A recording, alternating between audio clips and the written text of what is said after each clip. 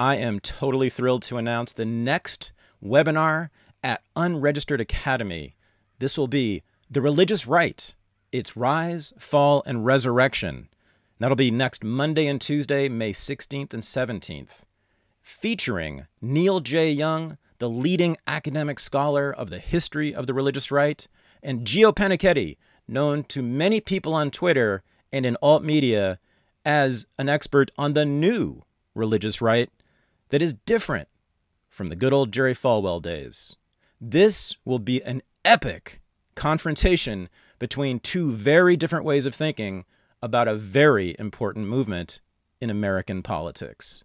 So go to patreon.com slash unregistered to become a member of the Unregistered Academy tier. That gives you free access to this course and every course at the Academy will be teaching, including my upcoming course on World War II called The Great Blowback.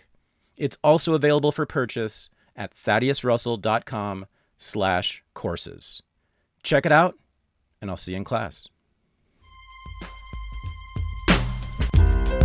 This is the Unregistered Podcast, and I'm Thaddeus Russell. This is a show about ideas, people, and behaviors that are considered inappropriate, out of bounds, or beyond the pale. The things you're not supposed to talk about if you're a school teacher, a college professor, a businessman, a politician, a parent, a neighbor, or even a podcast host. These are the things you're not supposed to say or even think if you're a good liberal, a good conservative, or a good citizen. Each week, I'll interview a person who has something bad to say they might be a journalist or a professor. They might be a porn star or a drug dealer. They might just be an ordinary person with an ordinary job who doesn't care about the rules of polite society. I'm not interested in breaking the rules just to be a troublemaker. I'm interested in people who break the rules of conventional thought and to expand the scope of what is possible to say in our society. I'm interested in people who make me think. Like me, my guest this week grew up in the left. But unlike me, he's still a part of it.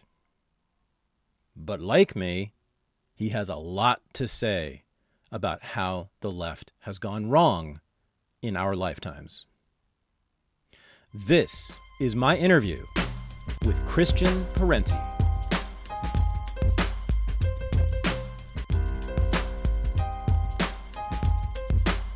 I am joined from Western Massachusetts by Christian Parenti, um, whose work I have known for, Jesus, decades, I think, at this point, and um, whose work recently has been very interesting to me because you take on the left, one of my favorite subjects, and very critically take on the left, and on, um, in particular, on the left's sort of positions or politics around race, and then more recently, COVID. So I wanted to focus on two of your more recent articles, Christian, if, if you don't mind. The, the one on the so-called privilege walk, and then mm-hmm. your recent article for Grayzone uh, on COVID and the left's reaction to COVID, which I thought were both um, outstanding, rigorous, and contained very persuasive arguments. But I kind of wanted to start with just well, before we started rolling, actually, you asked me why and when I left the left, lost the faith, as you said. I'm mm-hmm. wondering you know, you're still clearly of the left, seems to me, but what sort of in a broader way was the problem for you with the left? Do you see sort of broader tendencies that, that led you to have these critical?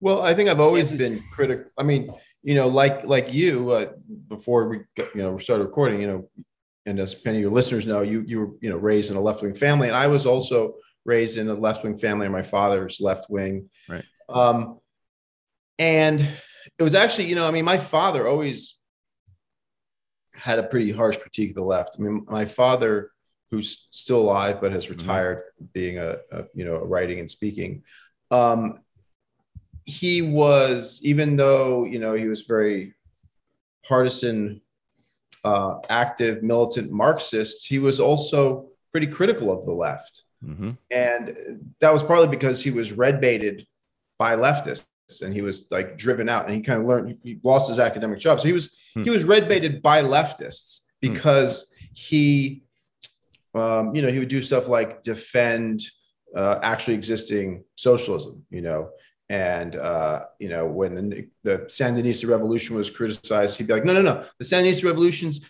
elections are more democratic than the U.S. elections. You know, they they allow foreign observers to come. You know, mm. and that's just like even for a lot of sort of socialists, academic types, that's just a little out there. And so, mm-hmm. you know, he was he was red baited and and um, mm.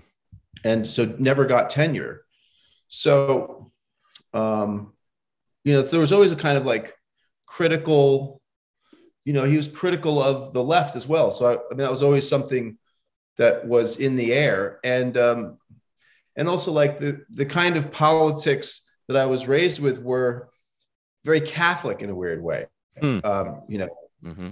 you know, he, he's very supportive of actually existing socialism and revolutions, but also very much a kind of like New Deal, New Dealer in a way. Mm. You know, was very um, had a soft spot for the whole kind of like New York New Deal, which is why that's how he rose out of the working class. I mean, my grandparents were really impoverished immigrants from Italy on my father's side, you know, and then it was through this amazing public school system from, you know, like grade school on through city college, which is like, you know, free and really high quality. I remember like my father's grade school principal was some Italian from Italy, like PhD guy. And it was like, you know, this is all like LaGuardia and um, Vito Marcantonio, like, you know, so that, you know, he wasn't the kind of Marxist or isn't the kind of Marxist who, you know, who would poo poo reform, reformist politics either. So it's kind of eclectic. And, and, and I mean, a lot of people on the left don't, they can't quite do that. They can't quite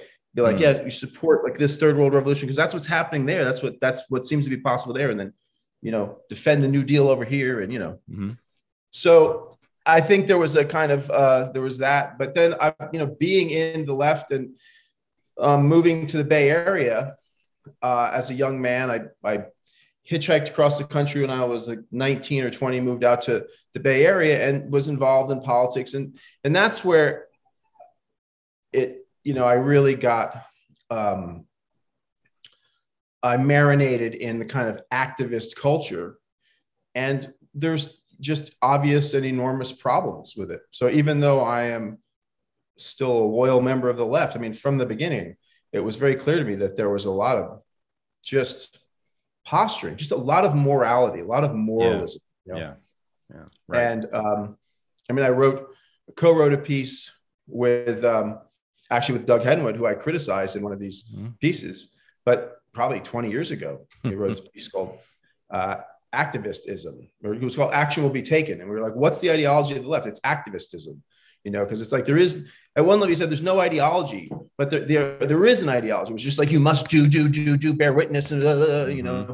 run on this treadmill of like bearing witness. And it's like, you know, this kind of moralizing. And it really, really is damaging for the left. I was just talking with a young younger guy who is involved in alternative energy and he was involved in the kind of eco-socialist working group of DSA in New York and he came late to the to the development of the program they have you know this bill that they're pushing which would require that the public power authority of New York purchase and invest in clean power, which is good, and he supports that. I support that. But it would also require the public power authority to get rid of these gas peaker plants. And realistically, what that means is that, and these are like new, they're like some of the cleanest gas fired peaker plants in the region. And so it's like the, there was this narrow mind, like we, we need we need to green this public agency. So we're gonna, you know, step one is force them to sell these assets. So that's just two things. It basically means this isn't going to sell, like politically. And it's also like, well, then what happens if you know when there isn't going to be enough clean power immediately built out? So when the energy is needed, what's going to happen? Well, they're going to have to buy it on the open market for more money from actually dirtier plants. And this guy's mm. very under the hood on all this stuff. And, and he was trying to bring this to people's attention. And also he was like what what are the union connections? Where are we uh, have we reached out to the unions who, who work this infrastructure? And it was like you know dissembling and uh, hemming and hawing. And then it came out that like no you know they hadn't approached it. So that like and it i use that just as an example of the kind of flawed policies that that even some of the better more active and sophisticated elements of the left fall into because of the the the role of like moral witness, you know, and like and and this guy I was talking with who writes under the name Fred uh, Stafford, you can find his work, knows a lot about energy. I mean, his take on this was that it's just, you know, that there was a kind of religious, kind of moral yep. bearing witness, and that that like the you know to descend to the realm of like, well, how are we actually going to get this bill passed? Mm-hmm. Uh, and we're going to have to actually make some compromises, like not sell these gas-fired peaker plants because in the medium term, you know, someone's going to be providing that kind of energy at, at peak periods to New York City, and you know, so there are real problems with with that that kind of moral secularized religiosity. Yeah, yeah, So over time, I just it's just become more and more evident to me that a lot of what the left does is this kind of secularized religious stuff. And I think that social media has been really bad in terms of that. Everyone seems to um, fall increasingly into this kind of dichotomous thinking where it's like thumbs up or thumbs down. Like that's what you do. You read something and you're like for it or against it. And um, you know, I frequently read things where I, I don't have an opinion. You know, I'm just like reading it to see what's there and like, hmm. you know, it's plenty of things that I have strong opinions about. And I'm, you know, it's lots of stuff. I'm just like, yeah, whatever. Like maybe there's something I can use from it, maybe not, whatever. But but like, I mean, yeah. So I could go on and on, but yeah, no, we will. I for many years I have been calling the left secularized Christianity. and it's amazing to hear you use the exact same formulation there. Is that are we being fair though? Is it really a religious movement with religious thinking? I mean, it's not religious, but it's like religion. Right. I mean, there's no supernatural thing going on. Um, but I mean, it is it it to me it just feels very Protestant, particularly because mm-hmm. it's about you know the individual calling and you know individual purity. I mean, a kind of Catholic version of religiosity. You're much more into like you know bureaucracies and institutions and coming up with ways to be like, well, you know, I'm sorry, you got to do what you got to do. Like, I'll uh, I'll confess, I'll confess to the priest, and we can take care of that. But as you know, Protestantism is like much more about um, purity. It seems to me. Right. Uh, so the subculture feels Protestant. Right. It's about the individual soul and whether or not that soul is pure. And if it's not pure, it is of the devil. I mean, there's no in between, right? Yeah. So you're you if you have any any connection whatsoever to the bad guys, you know, to Donald Trump or Republicans or or capitalists, you're you're worthless. You are you're essentially evil by extension. And yeah, it, that's straight out of Christian thinking. Um, and I don't I don't actually see much difference between the moral structure of Christianity um, and contemporary left wing politics. It's just um, it's the shame is also a big part of it, right? Shame, yep. Calling people out, mm-hmm. uh, clean and unclean.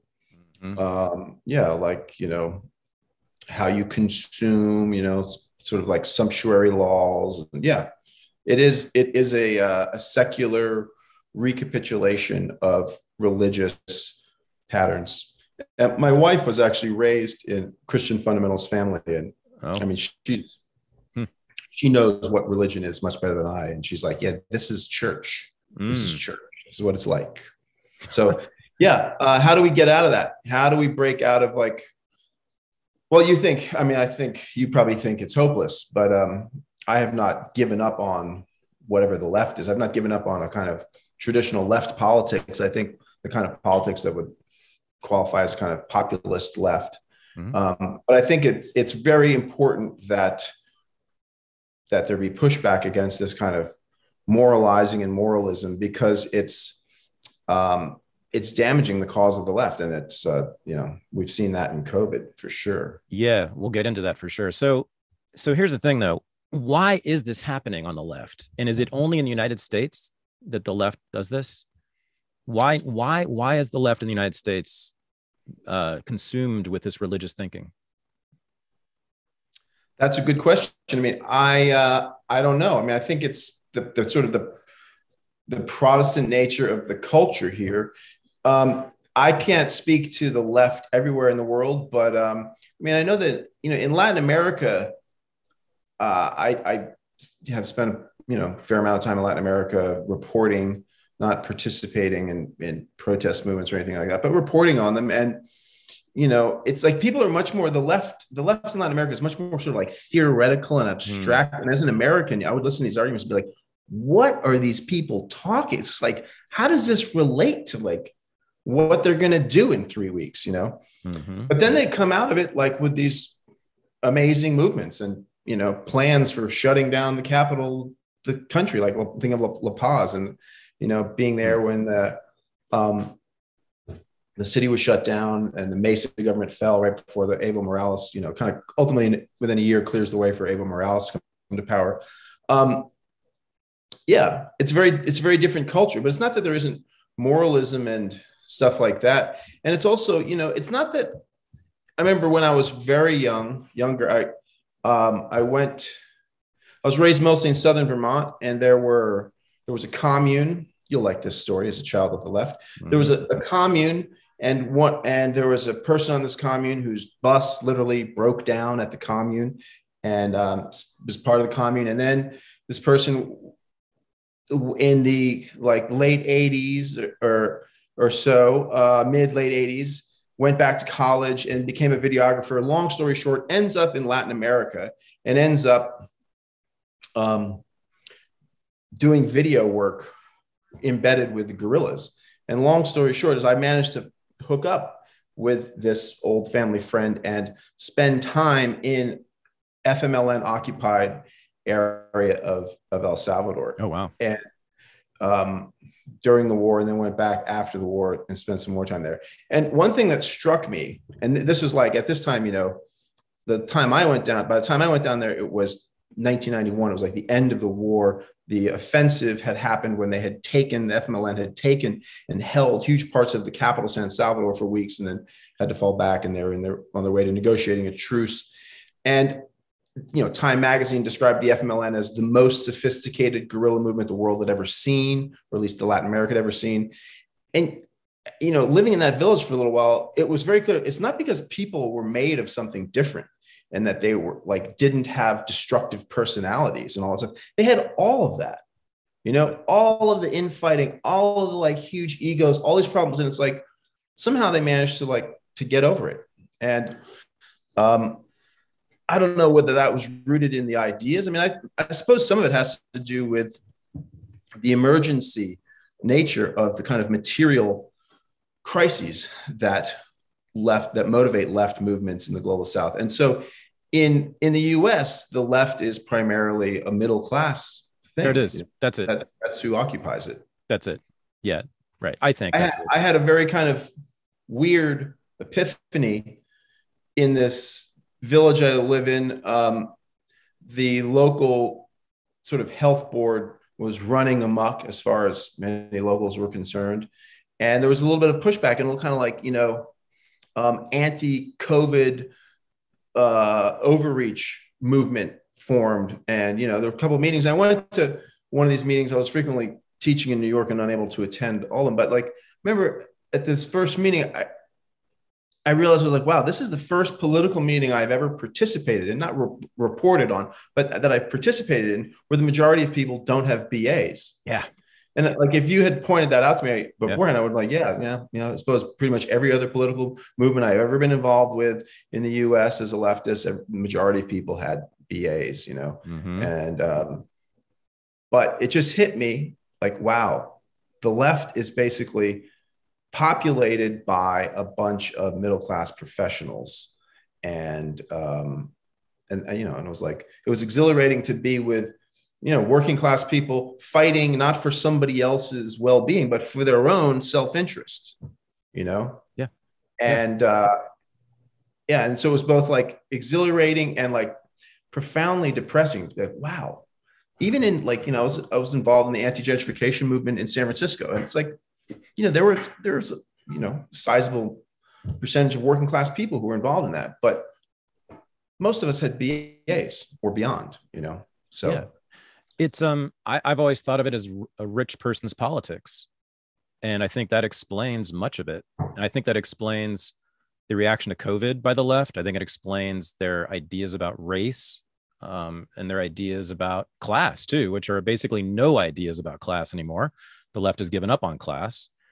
But if you are, if you're wealthy, and of course Americans, you know, relative to the globe, are very wealthy. You know, our our middle class, our rich people, you know, compared to people in El Salvador, you um, you become inwardly focused, right? Because the world outside you, your the external world and your in your immediate world is fine. You're okay you're not you're not going to starve you're not going to be bombed there's no dictator coming to take you away and throw you in prison but mostly yeah. you're not going to starve and yeah. so and, and yeah. And then if you learn if you learn something about imperialism and if you you know maybe don't learn enough in my point of view about it then you end up feeling guilty. You're like oh no. Like mm. i have running water and i you know i can i can mm-hmm. live on my salary and you know i'm not uh, fearing for my life. Like and so much of the world is oh i feel terrible you know like uh, you know like why do i have this? And you know obviously the next step is to like see things more structurally and uh and not get stuck in kind of methodological individualism. But yeah i think that that that's part of what motivates the sort of guilt and then the shaming and the kind of vigilanteism that goes along with that. Mm-hmm. and then i mean in, in answer continuing with the answer to your earlier question how did this happen? I think a huge part of it though is the, the role of foundations. And hmm. um, I would think it's like anti-communism uh, and sort of purging the the sort of socialist element out of the left as as much as possible, and at the same time, foundations investing heavily in you know the new left, even at at the same time that there's also a lot of repression against the new left, particularly those with class politics, like Fred Hampton, who's assassinated. I mean, it's like mm-hmm. watch you watch watch Fred Hampton's lectures, you can understand why he was assassinated. He was just like super. I mean, just I mean, he's only like 22 or 23. years and It's like mm-hmm. I mean, mm-hmm. really, really sophisticated critique and ability to communicate with people. So you know, decapitate those kind of leaders and then invest in divisive versions of identity politics. That's not to say that you know identity politics are only divisive. There's you know imp- there's important interventions um, under the the the rubric of what we now call identity politics. But you know, there's been a like 40 or 50 year concerted investment in trying to kind of fragment the left into smaller and smaller organizations with more and more niche focuses mm. and um, and then a lot of this culture that you know you and I are describing as sort of religious also comes down directly from these foundations. My wife, for a while, ran uh, a nonprofit, and um, I mean, I was always aware of this, particularly in the Bay Area, with like the, the, emergence of the Tides Foundation, and sort of you know that's where I got a sense of like hmm. how important the foundations were in funding, and and how important then the nonprofits were to uh, organizing the left and, and kind of staffing left wing movements. And so, you know, stuff like the privilege walk, yep. uh, I mean, that, that those kinds of exercises and the, the worldview that they promulgate that's pushed by foundations by like the rockefeller brothers foundation wallace global you know tides. If you are a, an executive director running some nonprofit you're going to be invited and heavily encouraged to participate in this kind of ongoing education, which is this this sort of you know woke identity politics, the ritual, the privilege walk, and calling people out, and all this sort of stuff. So it's to some extent out there. People are picking it up in the college classroom, this and that, but it's also just like routinely pushed on nonprofits by foundations it would make sense that George Soros, who is the founder of the Tides Foundation, right, um, would not be so well, interested. He's founder. I don't know about that, but well, he's he's the, he's he's the man behind it, right? Isn't it? That's his foundation. I don't know. I don't know. I, I thought he's he's the man behind his own thing, uh, Open Society. I thought Tides was. Anyway, I don't know what. I mean, I think Tides was sort of broader was, than that. I thought it was Soros, but uh, okay. Well, he, probably, he gives a lot of money. He probably, I'm sure his money gets mixed up in that, but who knows? Yeah. Well, I mean, but I mean, I think you agree, right, that Soros funds a ton of identity politics um, initiatives, right? lots and lots and lots of identity politics comes out of him. It makes sense that a, a billionaire, uh, a massive billionaire, would not be so interested in a global class revolution. Yeah, of course not. Yeah, right. They want yeah. they're into like horizontal oppressions. Not they don't want you to think vertically about like you know what's oh. what's the billionaire class doing to us, but sort of like you know uh, what's that other worker doing, and are yeah. they you know out of compliance with some sort of um, behavior? What do you mean by horizontal oppression? I know you use that in your work a lot. I mean, like um, you know, like two workers you know a man and a woman who are both working in some place and it's sort of you know as opposed to you know two line workers thinking vertically like how's the boss shafting us? To, to think in terms of like well is is this man like is he insulting and demeaning this woman? Is he oppressing this woman? Like you know that kind of stuff. Like mm-hmm. you got like uh, you know a hundred workers in some place. Like what what's the what are the power dynamics here? You know who's who's at the bottom socially? Who who has more privilege who's uh, you know, has an easier time in life. That's the focus, right? Think about how all these people who are basically on the same social level as a class, how can they be divided and think about themselves as a hierarchy, right? That's right. what that's what uh, the whole that would seem to me to be the utility of identity politics to the billionaire class to get to get people to look for oppression you know in the behavior and thoughts of their fellow worker rather than to try and learn more about this really distant, hard to study class.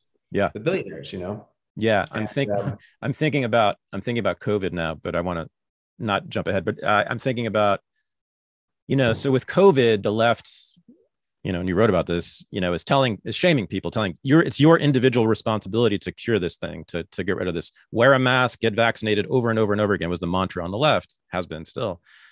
You know, so it's it's horizontal, it's one to one, essentially, it's individualist in that way, and it's very uh, moralistic. At the same time, they're watching, they're getting those messages from MSNBC and CNN, whose major advertiser is Pfizer, and yeah. so they don't look and from the up. Democratic Party, which is heavily dependent on pharmaceutical right. funding. So instead of looking, if they were to think vertically, as you put it, or you know, in terms of structures and systems, if they were to do that, they would look immediately would look right at Pfizer and see that their ideas about COVID come from Pfizer and the Democratic Party. Exactly, the government and Pfizer. Um, it's that was the most despicable thing to me about the left is that they seem to be unaware that they were taking marching orders from the U.S. federal government and the biggest, nastiest, worst corporation possibly in history a corporation that I was trained by the left to hate for good reason. Yeah. But we'll come back yeah. back to that later. I want to before we get into COVID and stuff. I want to I'm going to do a little uh, detour into history here because you raised a bunch of fascinating.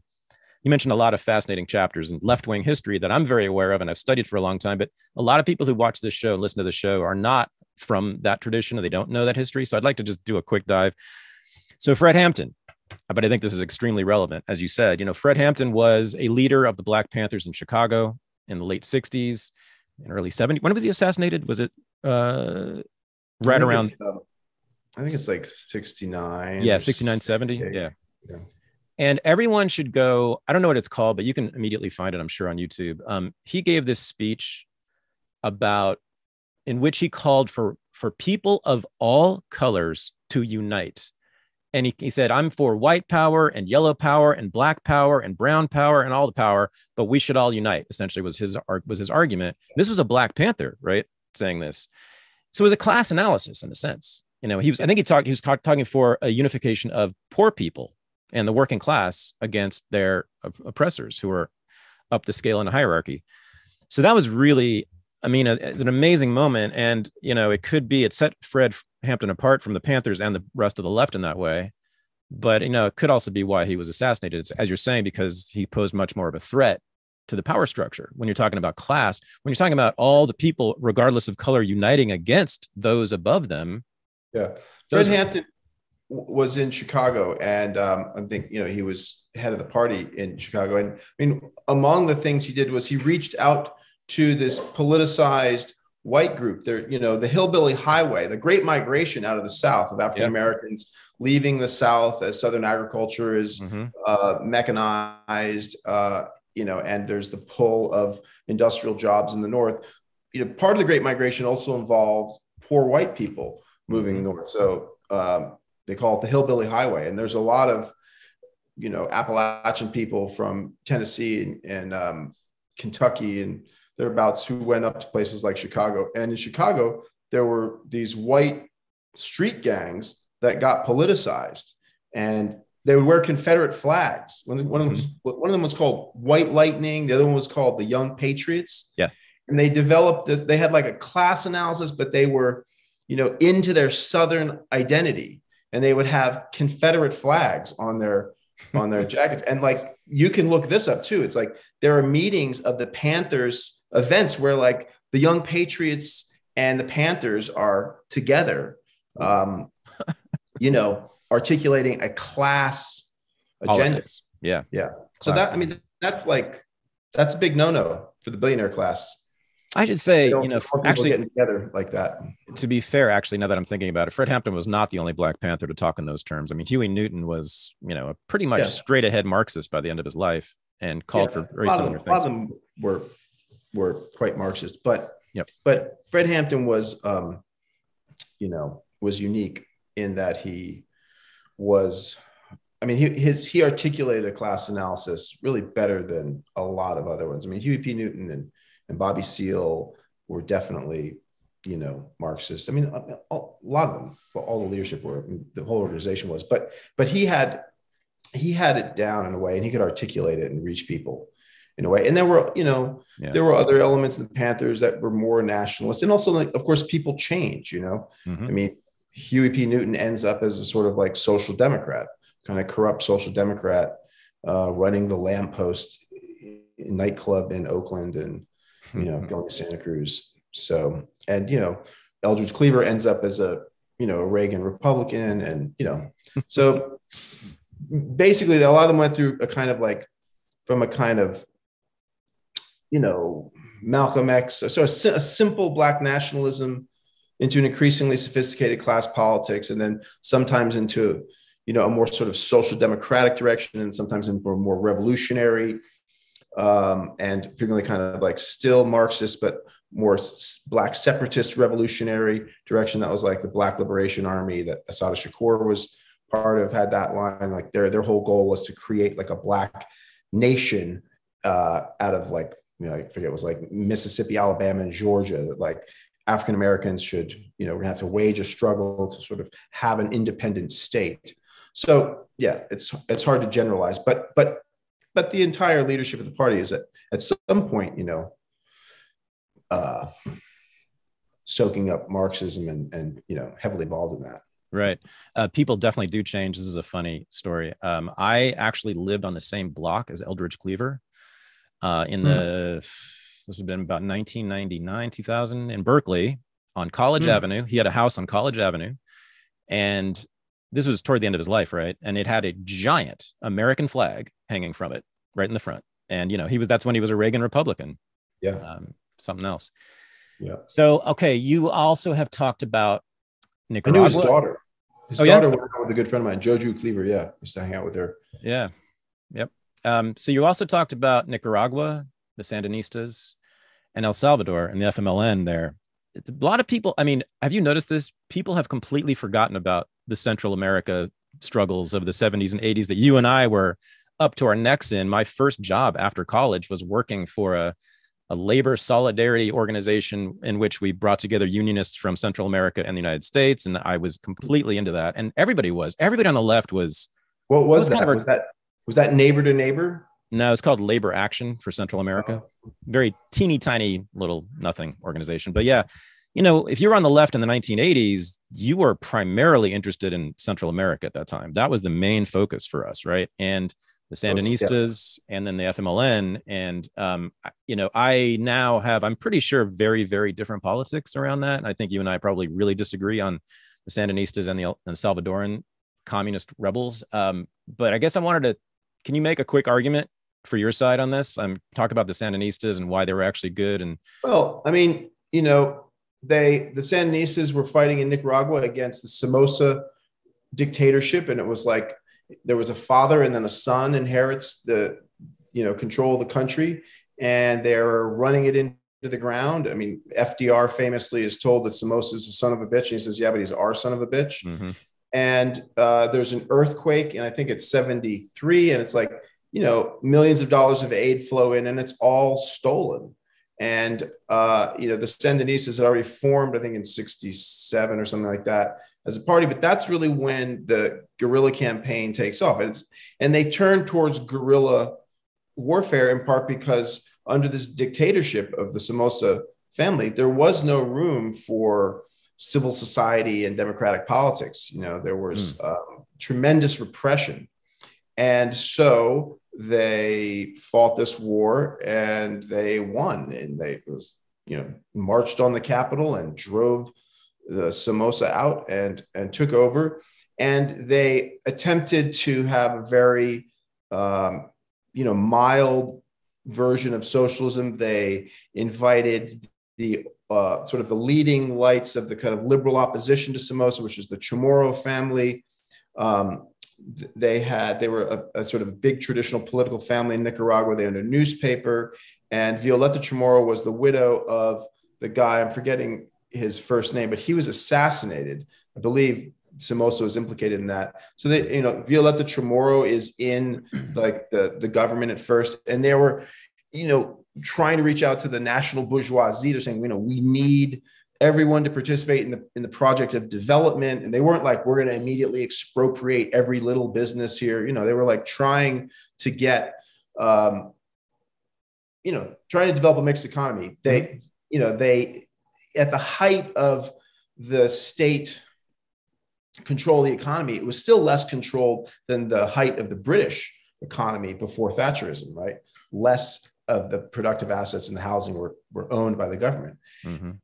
And the US uh, immediately started funding uh, a, a, a, a counterinsurgency, I mean, a, a, a, terrorist movement called the Contras.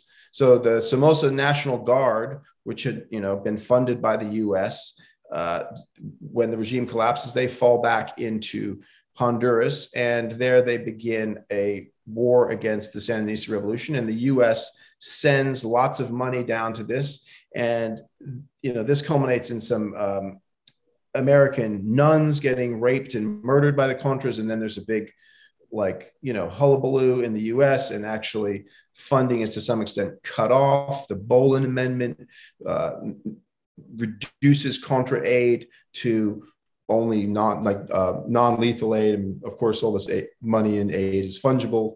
So and what the contras were doing was like they would go in and they would try and destroy the development efforts of the sandinistas. One of the first things the sandinistas did was they had this huge literacy campaign. They sent you know volunteers to out into the countryside to teach people to read. And you know those literacy teachers were targeted for assassination. Schools were burnt.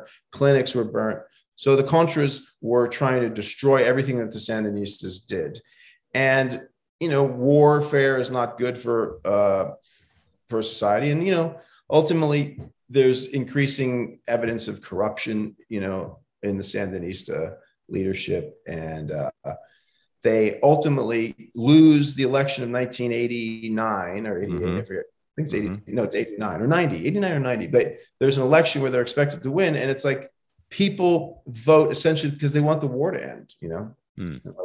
So they vote in uh, Violeta Chamorro, who had left the government and was running as, as opposition. And so then that's, you know, to their credit, um, you know, they, the Sandinistas hand over power. They don't, they don't call off the election. Yeah. And yeah. So the Contras were Reagan's one of Reagan's pet projects, and of course, this led to the Iran Contra scandal, led by Oliver North, in which they were taking money from the the mullahs in Iran and funneling it to the Contras illegally and in secret without the Congress knowing, and then got in a lot of trouble for it. Right. Let me throw a few. Oh. Let me throw a few criticisms of the Sandinistas at you, so you see what you what you want to do with this. Um, so number one, I mean, Reagan's big thing was, you know, they were they were close to the Soviet Union and taking aid from the Soviet Union and Nicaragua, as he said, is what do you say? It's just a, a short flight from Harlingen, Texas, or something like that, right? Um, it would shrink. It became ultimately like four hours drive. At first, he's like, it's yeah. a two day drive, and then by the umpteenth time he had iterated, it was only four hours from Texas. Right. Well, I mean, he's he's right about that. I mean, and I don't know what your position on the Soviet Union. Travel, yeah. I don't know yeah. what your position on the Soviet Union was, but I mean, I am um, 100% opposed to anything that looks like the Soviet Union. So, and I find it, you know, it was, um, I mean, I grew up in a Trotskyist family, right? So I learned to be an anti-communist, anti, an anti-Soviet from communists, yeah. right? Um, but you know, no what one, do you? No one hates the Soviet Union like Trots. Absolutely, absolutely. We hated them with a passion, still do. So that's in my bones. But what do you think about all that that criticism of the Nicaragua, the Sandinistas? Well, um, I think that yeah, I mean, the the Sandinistas got support from Cuba for mm-hmm. sure, mm-hmm. but um, I, I I think that that doesn't justify the U.S. Uh, attacking the revolution like that. I believe in the right to self determination, and I, you know, I mean, the U.S. supported a totally brutal dictatorship and created this revolution to some extent, and it's not a surprise that the Reagan administration tried to destroy it and did a pretty good job of it. But um, yeah, I mean, I, I, don't think that the U.S. particularly cares about um, oppressive conditions in other countries like that. When U.S. foreign policy is justified in terms like, you know, these these guys are oppressive. It's like, you know, but why not the Saudis? Why not any number of allies who are also oppressive? So that I mean, that's a you know that's a bullshit line. The real problem with the Sandinistas was that they were trying to develop a socialist economy, you know, and they were trying to um, undermine the power of capitalists everywhere, and uh, particularly of U.S. capitalism. And so that was, I think, the main threat that they posed. And you know, the the justification for attacking them was that, like, well, look at the lack of freedoms in the Soviet Union, and you know that that that system is is marching its its way, you know, closer to us. I don't think that was the real concern, and yeah. there was plenty of evidence that the Sandinistas could have, you know, if worked with, that it would not have been uh, an authoritarian regime like that. I mean, they were bending over backwards. You know, they they did um, censor La Prensa on occasion, which was like the main opposition paper. Mm-hmm. But, you know, they allowed this opposition paper. They were really trying to curry favor with the West, with the capitalist West, to avoid having a war and just being able to develop their economy. And it was also, you know, it wasn't just a ploy to avoid military conflict. I mean, I think there was also some sophisticated, you know, understanding that it's it's hard for you know socialist economics have a hard time developing an economy and that um, there is some utility to having entrepreneurs and that sort of stuff. And it was like they were genuinely interested in sort of what the national bourgeoisie could do to help develop the economy. Um, is that the kind of economy that you favor now, a mixed one? I mean, what does it matter what I favor? I mean, like, yeah, I, could, well, I mean, I could, you know, I could. What what I what I don't do, what I've never liked is the kind of Dungeons and Dragons version of politics of like, in my perfect world, this, that, that's mm. like, who cares, man? You know, what, what, I mean, it's something I really don't think about that much because I know it's never gonna, I'm never gonna be asked in any way that matters. Like, what should we do with the economy? You know? So I think much more in terms of the here and now. Okay. And uh, that's probably, um, you know, uninspired, but hey, I'm a middle-aged guy, you know, I'm like, I'm, I, I think I uh, suffer from realism. So I don't actually think about that. I could, I could spin out some fantasy version of what a perfect economy would look like, but you know, I don't, I don't think in those terms because I don't, I don't think that's really in the cards. You know, I think that. Um, so what interests me is much more like the here and now. What are we going to do with this situation? you know uh, how do the kind of politics that i'm interested in which is basically greater class equality and reining in this really overgrown uh, 1% and, and, and a really kind of dement, I think increasingly demented ruling class. Mm-hmm. It seems to me that American capitalists, like yes. as the economy has deindustrialized and become increasingly financial, and also as the rich, I mean, inequality you know, let's be clear. It's like the, the rich are like richer than they've ever been. Mm-hmm. Um, just read an article out of, out of SF Gate. It was by a sports writer, and I forget what the, even the subject of the article was about. But he made the point that you know, like the richest person in the world in like the first Forbes list would have control for inflation would have a, a, a fortune of like five or six billion today maybe mm-hmm. it was nine billion. Mm-hmm. you know now the richest people have like fortunes of 100 billion, mm-hmm. 60 billion right uh, and they and they have a distorting effect on politics and and the culture so i mean i think that is and and they also it seems to me like if you compare the old industrial capitalist ruling class they had their feet on the ground in a way that these guys don't like elon musk and these people are like obsessed with like how are we going to run the cities on mars when we like colonize mars it's like what are you talking about man take a look at this planet and how messed up it is There's, they're not going to be cities on mars yeah. i mean unless there's drastic changes to this political right. economy or so i think so right. yeah i'm much more concerned with that kind of stuff that um, yeah. you know how do we how do we create a more sustainable more just um, version of this society. So while my analysis is Marxist and therefore rooted in a kind of revolutionary tradition, I also have, you know, critiques of revolutions. I'm aware of what the problems with revolutions. Um, but I, you know, it, it's still that doesn't make it so easy for me to dismiss them. I think that, you know, when people are in a condition in a situation where you, you can't protest, you get rounded up by some death squad and and killed if you protest. It's like, well, what do you expect? They, they start like picking up the gun and they say we have to change the entire thing. There's no room in in this system for us.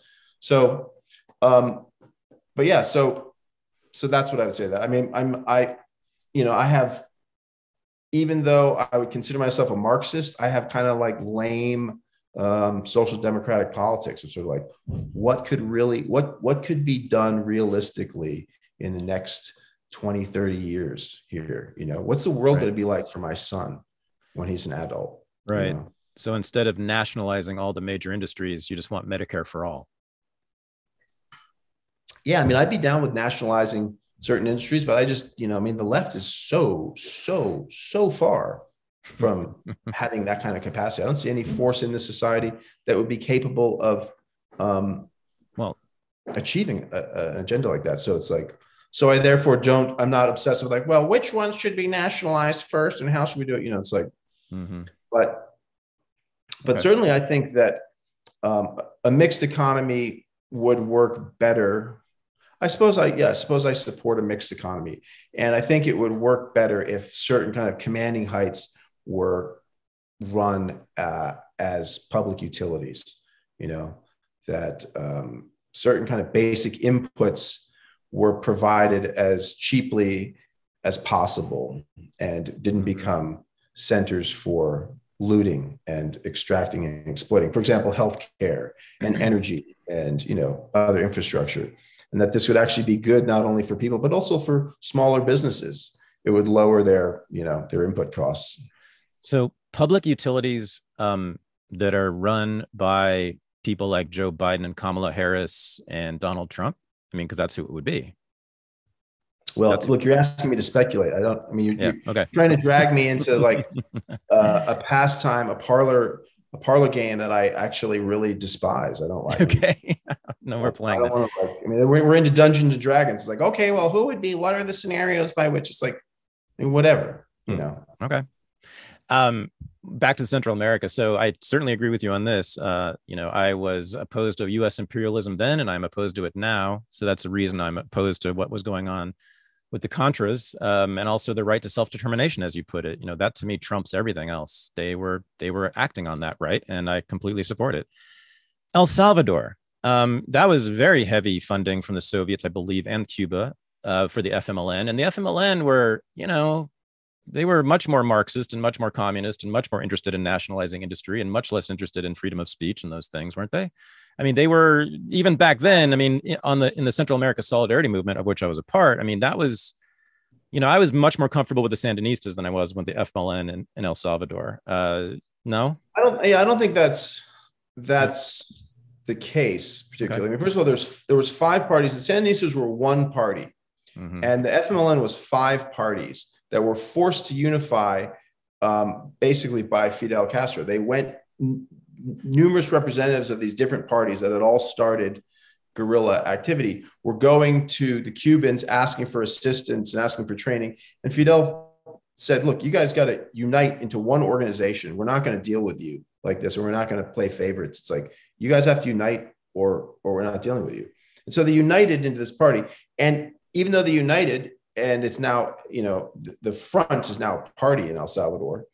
Um, the current president, yeah, uh, Bukele, he was actually a candidate. Uh, I think he was like, he ran, he ran for one of his offices. He won as an FMLN.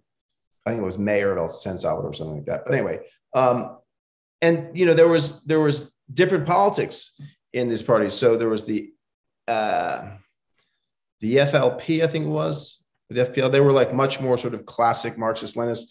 There were others that were um, sort of more social democrat, loosey goosey, more into a mixed economy, more into like, you know, um, yeah, a kind of a concern with like a liberal form of politics.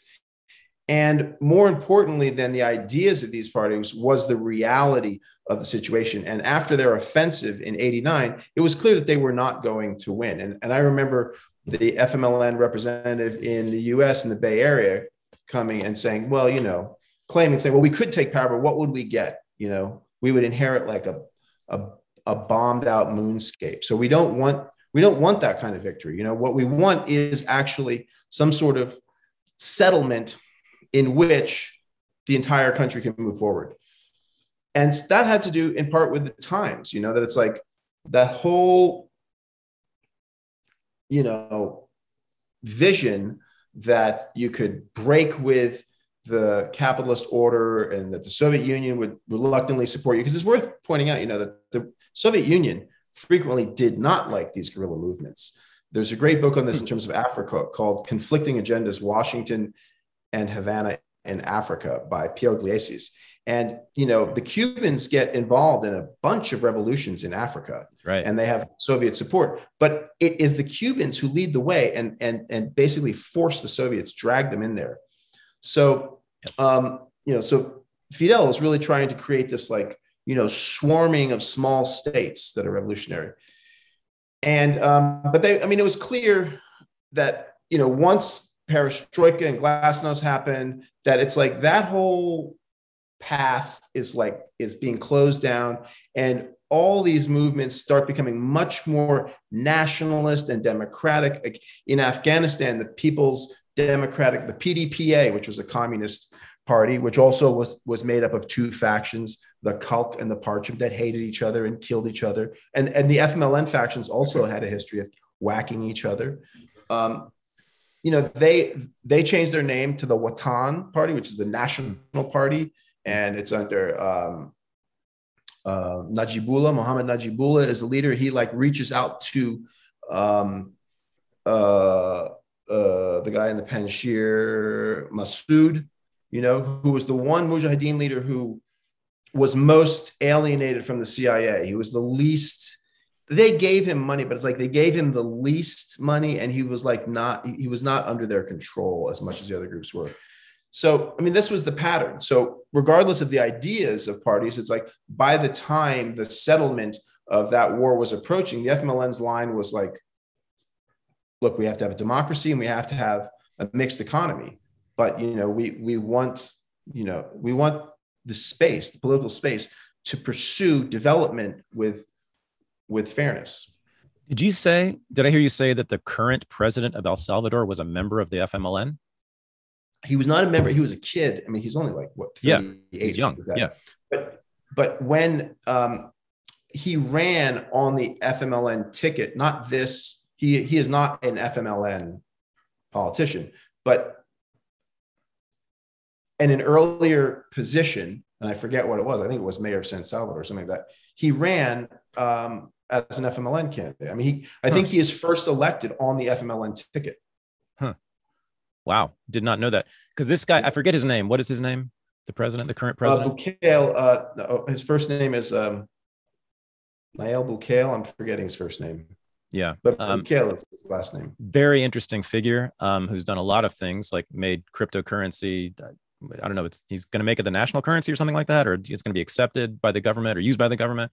And then also legal tender, and he gave everybody in El in El Salvador like I think thirty dollars in crypto, and yeah, Yeah, and, and they want to have a kind of crypto, a green crypto farm funded by the hydropower from uh, the Wasapa volcano. Yeah, and um, yeah, so he's and, trying to do that. And, he's very he's very popular. He's but he's very authoritarian also. He's like coming down hard on the gangs. But you know, well, yeah, I mean the gangs are really, are, I mean it's very very intense.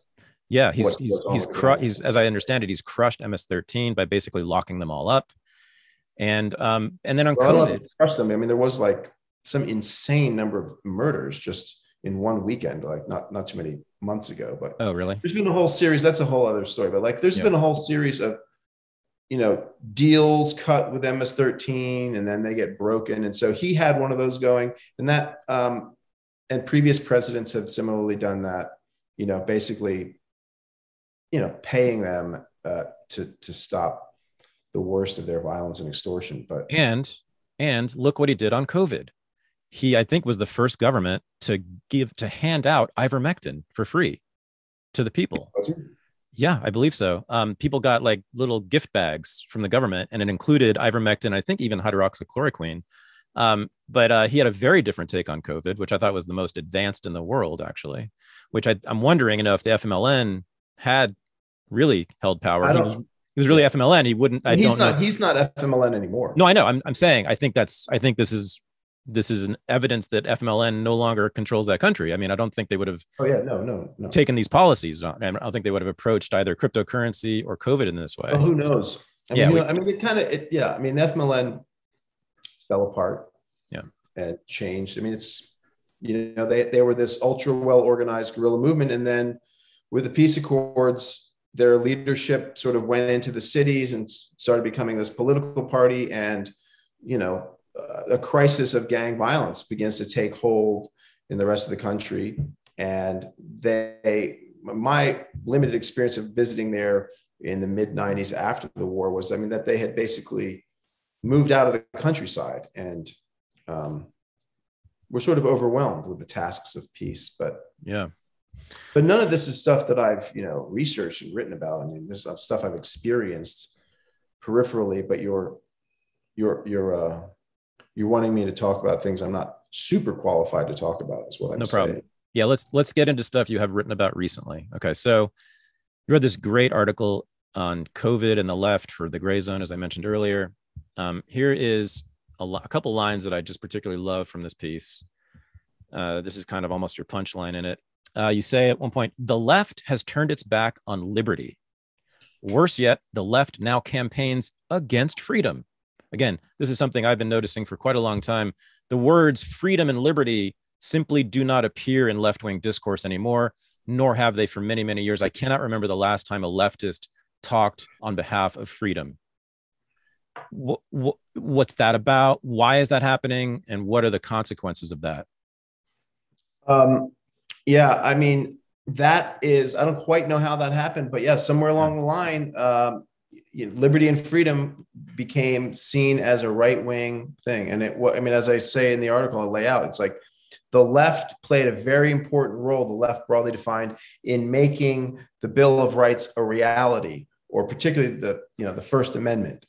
Um, at mm-hmm. first, you know, the First Amendment was viewed as only applying to federal territory, and states could restrict freedom of speech. So you you know DC couldn't, and you couldn't do that. You know you couldn't restrict free speech and assembly on federal terrain. But the struggle to to nationalize the First Amendment was led primarily by leftists, the Wobblies, you know, protesting to have the right to free speech. The, the key cases that helped nationalize this uh, Gitlow versus New York is some guy named Gitlow who's published something called the Left Wing Manifesto in the early 20s, and mm-hmm. you know goes all the way to the Supreme Court, and you know that's crucial. The flags being protected as speech. That's a young communist named um, Yetta Stromberg in California. You know fights that case. So the left was really really important in in making civil liberties a reality and the left now has turned its back on civil liberties to the point where the ACLU right. editorialized for COVID mandates and for firing people who refused to submit to these vaccines. And I mm-hmm. think at the time of that editorial, they might have still been under emergency use authorization, those vaccines, but maybe maybe they had been officially approved. So yeah, uh, the left has abandoned this, and um, free speech is seen as the property of the right, and that is, I think, a total disaster. And we see, I mean, this these levels of censorship, eh, you know, and I say in the piece how, you know, people on the left, friends of mine, like don't even want to call what these social media corporations are doing censorship. Say, well, it's not really censorship because it's not the government doing it. Mm-hmm. Well, whatever it is, whatever you want to call it, I think it's wrong. You know, I think it is, you know, it is repressive and it is totally destructive of our political environment to, you know, cancel and pull down content which is labeled as misinformation. And it's, I mean, the, the Wall Street Journal had a, good article the other day in response to the California law that's, I guess, limping along still, which would empower the state medical board to go after doctors who are guilty of trafficking in COVID misinformation, which is not defined in the bill. So it could be anything really. And the, the Wall Street Journal said, well, you know, and the closest it gets to a definition is sort of like, um, well, I forget what it says, but it's it's sort of like you know anything that's sort of like out of keeping with the accepted sort of standards, right? And the Wall Street Journal's argument was say, look, if if this law had been in effect all the way along, we never would have made the shift from ventilation, like intubation ventilation, to sort of passive oxygen ventilation, and that was that was seen as you know in retrospect we realized it's like forcing air into the lungs of people with covid. That was not good. And the reason you know like over 90% of the people who were intubated generally died. Mm. had something to do with how how bad that treatment was. And so now the standard of care is passive oxygen and passive oxygen earlier and, and to avoid ventilation as much as possible and this happened this shift happened because doctors were saying like wait a minute I know we're hearing that ventilation works, but I'm seeing that it doesn't work. We're experimenting with X, Y, and Z, and you know, just having some oxygen flow up people's noses, we're getting better results. That that could have been, you know, uh, dismissed as quackery, misinformation, and people could have lost their licenses if this law was in effect. So you're talking about this bill that's in the California state legislature right now. Am I correct? That would penalize doctors for uh, giving out what's called misinformation. I mean, it regulates what doctors can say to us, to yeah. say to patients. It's amazing. Has there ever been a bill like? Has there ever been a law like that in the United States? I don't know. I mean, regulating what doctors can say to people. I don't know. I mean, that medical boards go after people. The medical board in Maine has stripped Meryl Nass of her license because she, you know, was deviating from their protocols. She was using uh, ivermectin and I don't know. I don't know what other stuff she was doing, but they went after her and they they successfully stripped her of her license. And uh, you know, there's been a couple other cases like this that have have made the press. And I think there's a lot of this that goes on under the radar that doesn't make the press and just has a chilling effect on doctors. But yeah, but this law is the the most audacious, and it was part of a package of laws, most of which I think are being rolled back. Like one other one would have lowered the age of um, it, it would have said that children down to the age of 12 can get vaccinated without their parents' consent. Jesus. So kids in school that got shot down, and there was there were some other. Uh, one of these bills I think would have made it illegal for insurance companies to to offer insurance if you weren't vaccinated. I don't know all the details on all this stuff. So, but anyway, bunch of really bad bills in California, and you know things that happen in California because it's such a big state tend to happen to the rest of the country. So it's good right. that that that that um, law uh, um, that that bill that would have allowed uh, children as young as 12 to consent to vaccination that that's been shot down. Wow. Wow. Yeah.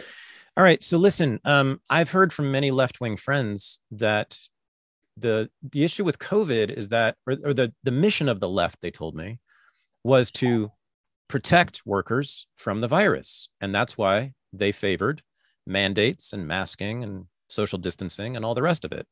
Why why were they wrong or are they wrong about that?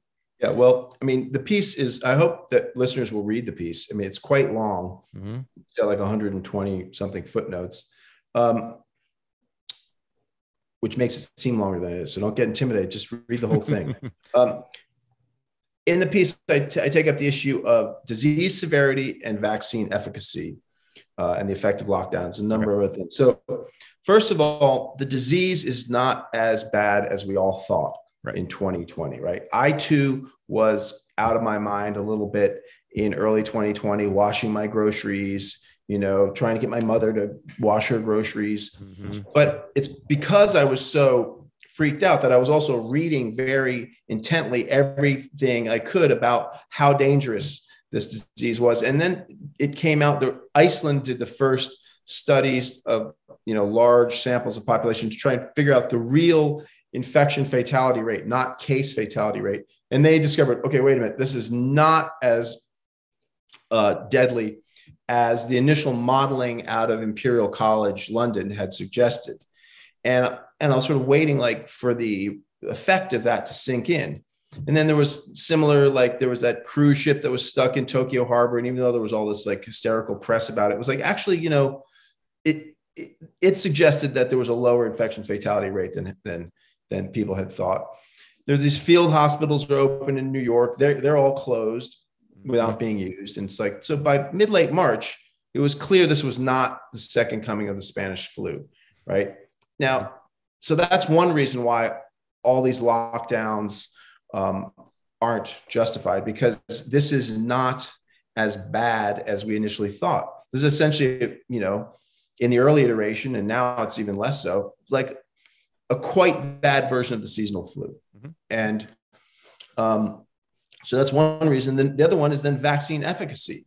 You know, you shouldn't support throwing people out of their jobs if they don't take the vaccine because the vaccine essentially doesn't work right mm. it's non-sterilizing you can't you can't achieve herd immunity against this coronavirus partly because coronaviruses mutate with such regularity that you know you can a huge part of the population can can build immunity to one variant and then a new variant comes along and people will be re- reinfected as i was um, unlike say polio or smallpox, which are diseases that they just don't mutate as much. So they, they can be suppressed more easily.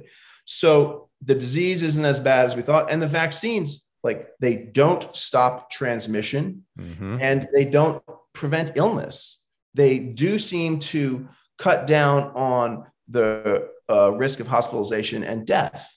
Though it should be said, the CDC has not released information that it has collected about hospitalization rates by vaccination status for people under 50. So hmm. the, the, the, relatively good outcomes for older people may or may not apply for younger people. And the reason they gave for that is because they're afraid the information would, the data would be misinterpreted. You know, this was reported everywhere. This was in the New York Times, this was in the Washington Post, but then there's no follow up on it. So, I mean, those are the two main reasons, right? That it's like disease severity and vaccine efficacy are not what we were led to believe. And therefore, it is, I think, totally unjustified to use all this repression against people to force them to take these vaccines. And also these lockdowns, you know, um, they're, you know, the lockdowns have damaging effects on people, as I lay out in the article, mm-hmm. All, mm-hmm. all the kinds of um, some of the effects that have been had, you know, felt in in rich economies and in the global south. So that's what I would say to that. Yeah. So here's the thing I need you to explain this to me. Uh, as we said earlier, you said this earlier. I mean, the left in this country is basically the most educated people in our society, right? It's full of people with bachelor's degrees and more, right? I mean, these are very educated people, generally speaking. I don't know if they're the most educated people in our society, but they tend to be people with with higher education with very high very high yeah. yes so so they're very well educated now how on earth would those people so grossly overestimate the effects of covid how well my theory of the crime is as i lay out in the article that it all has to do with trump derangement syndrome and the the specific dynamics of that election and i discussed the 1976 swine flu epidemic where pandemic where it turns out ultimately that there was possibly, you know, uh, no fatalities from swine flu. But what happens is there's a, a couple soldiers get sick. One of them dies at Fort Detrick, and there's this like reaction. The US creates a vaccine, 20% of the US population is vaccinated, including President Ford. And, and then it becomes clear that, wait a minute, like the swine flu isn't really killing anyone globally. The WHO like can't come up with a body count. And the vaccine was causing Guillain-Barre syndrome. Uh, which is a you know sometimes temporarily paralyzing autoimmune disease, but it can also permanently paralyze people and can kill people. And there's like lawsuits are launched against the federal government, and the government suspends the vaccination campaign. And at that moment, that's when you see this symbiotic relationship between the regulators, like you know the CDC and the FDA and NIH, and and big pharma, and they're like in this together, trying to hype up the the pandemics. And they they do that again and again and again with each new real and imagined you know infectious disease. They want to turn up the volume as much as possible and until this election there was enough critical capacity in the political class both democrats and republicans and in the journalistic class that some people would get caught up in this but other people would be like well we've been hearing about zika for months but where's zika I mean, what, like no maybe we're not prepared to like go crazy over this because it just doesn't seem that serious, right? But what happened was that this disease got politicized and it got politicized from both sides. You know, in on March 9th, I quote it in the in the paper, in the, the article. It's like Bill de Blasio, mayor of New York, was still saying, "Yeah, like if you get this and you're under 50, it's going to be like getting a cold. It's really this is about it's like hmm. an intense flu and it really threatens the elderly and, and people with comorbidities. Two weeks later, he's shutting down all of the public schools in New York City. And the I think what happened was the Democrats realized, like, okay, this time we've got Trump, right? Never mind Hollywood access. All I mean, all these kind of crying wolf, like this time we've got him, this time we've got him. They just like they couldn't get him. And they're like, this time he's mismanaging this. We're going to get him on this.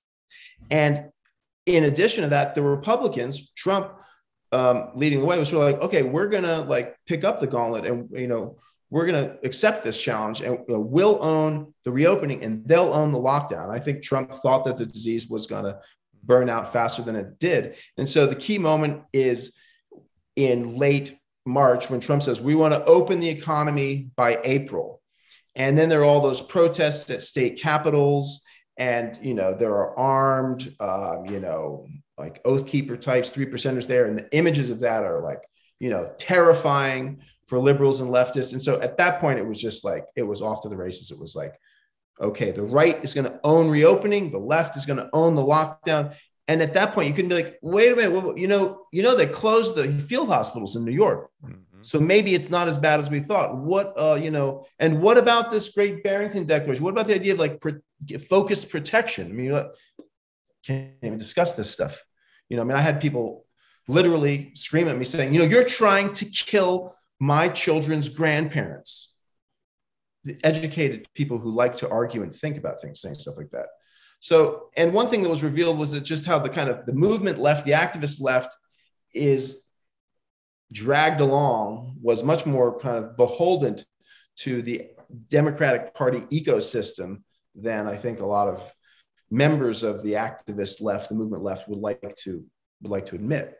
And so it just there was no space to think about this, and it became a litmus test, and it was like, and people just started, you know, getting into all the social media, cancel culture, shaming, and and the the politics of respectability immediately kick in. It's like, what are you afraid of science? What are you like tinfoil hat, anti-vaxxer? You know, and out the window went everything that ever you know everybody had been saying for years prior to COVID. Like these are captured agencies, like you know, and I mean these public health agencies are really captured. It makes the mm-hmm. effect.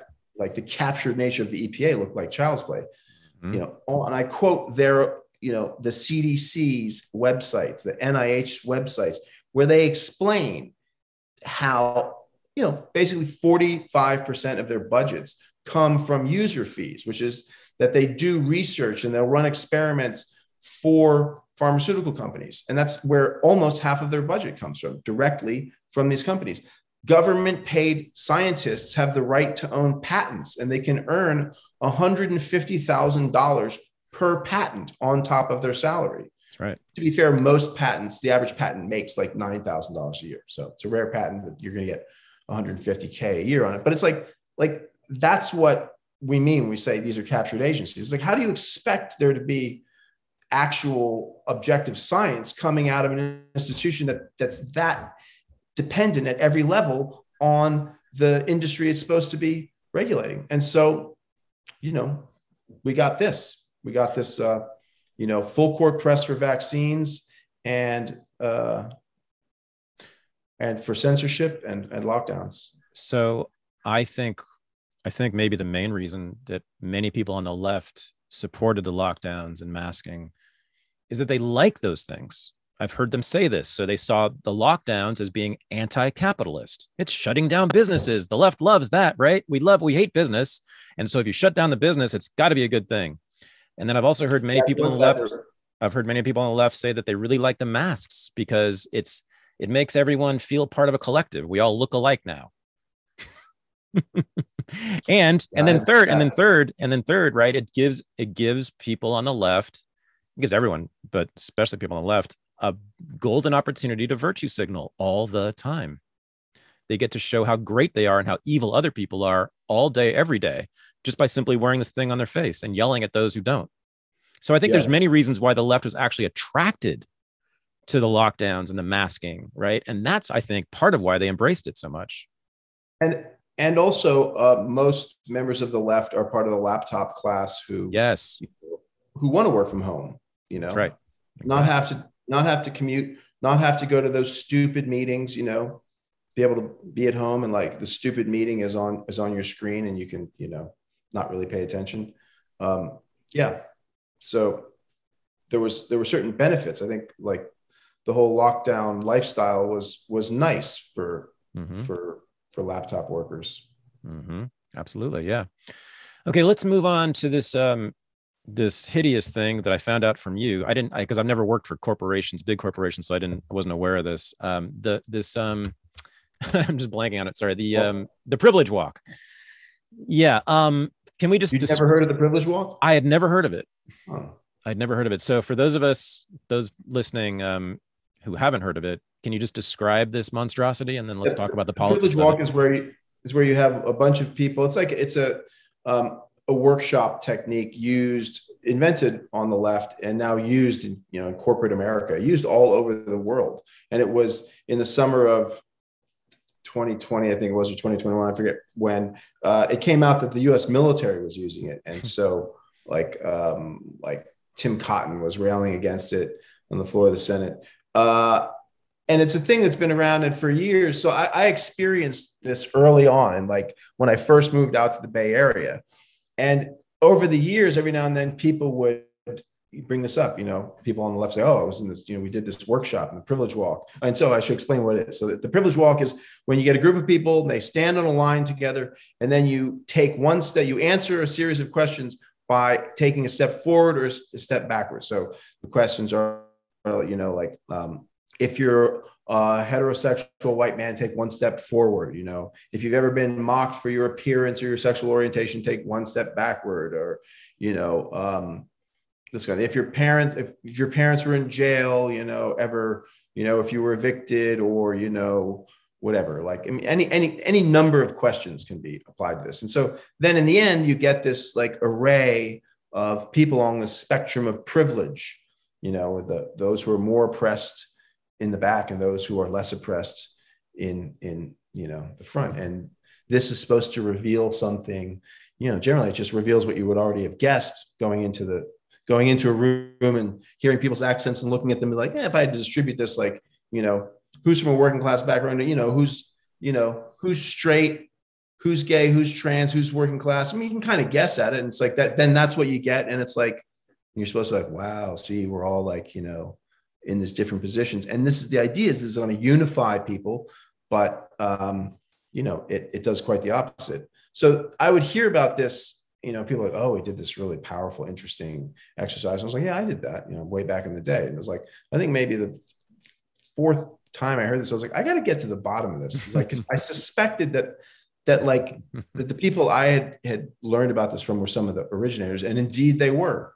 And so the story is that Ricky Sherover Marcuse, who whose father is an amazing character, but she mm-hmm. ends up as Herbert Marcuse's third wife. mm-hmm. and widow.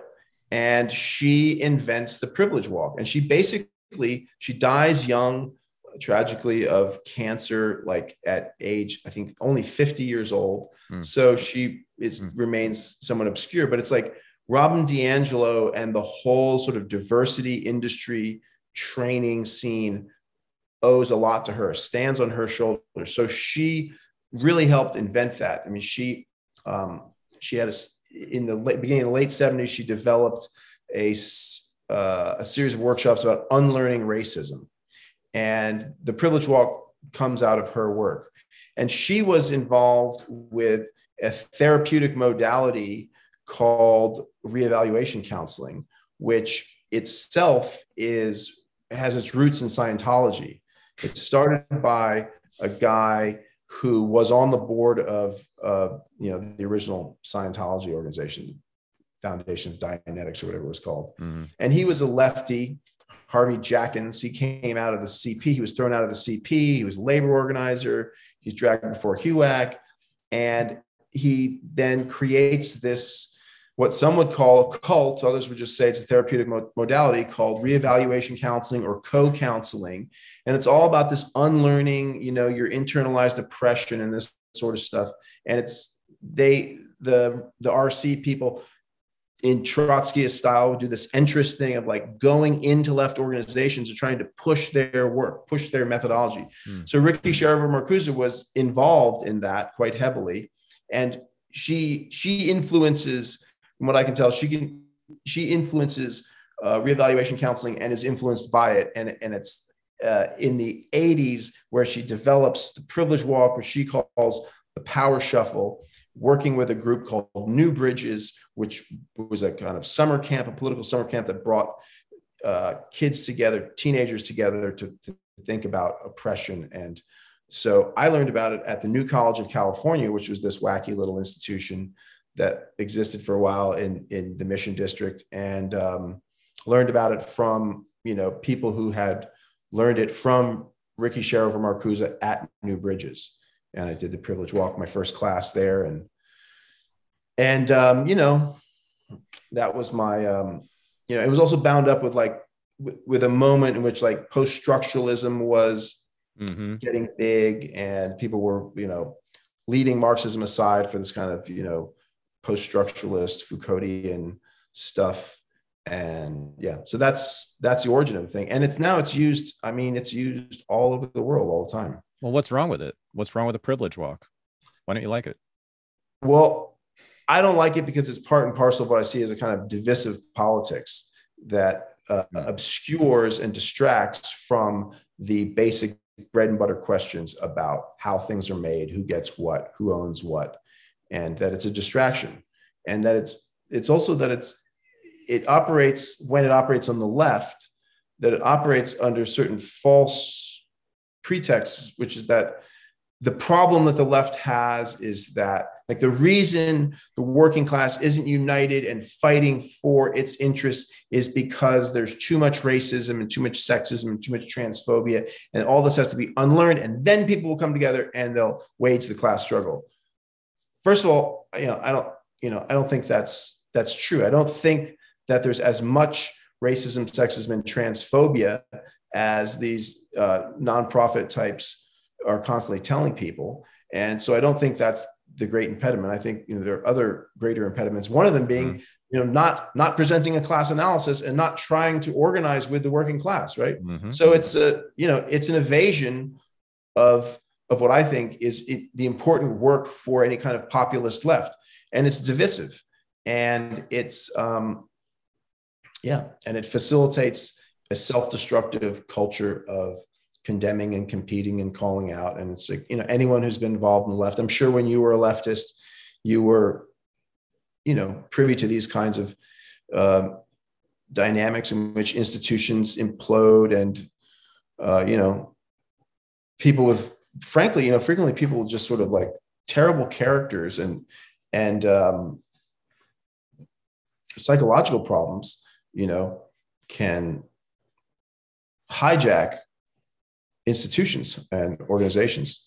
it's also part of the um, the therapeutic turn, right? It's like coming out of the new left. There's there's there's an increasingly important role for therapeutic mm-hmm. sensibilities in the left, mm-hmm. and, and the left gets more and more involved in sort of how you feel, and it's like, I mean, that's important. I mean, I'm I'm not against that, but like, there's got to be limits because people are messed up. They've always been messed up. And getting back to that little you know story about the FMLN, I mean, that that really struck me. It was just like, wow, these mm-hmm. people who, whether you like the FMLN or not, you know, they created the most sophisticated guerrilla army, according to Time Magazine. I think mm-hmm. Time Magazine is right mm-hmm. that Latin America had ever seen. And it's like they didn't do it because they were a bunch of angels who like didn't have big egos and didn't like you know right you know have bad psychological habits. They did it despite all that right? So it's like, first of all, the idea that we're going to arrive at some place where everybody's finally sane,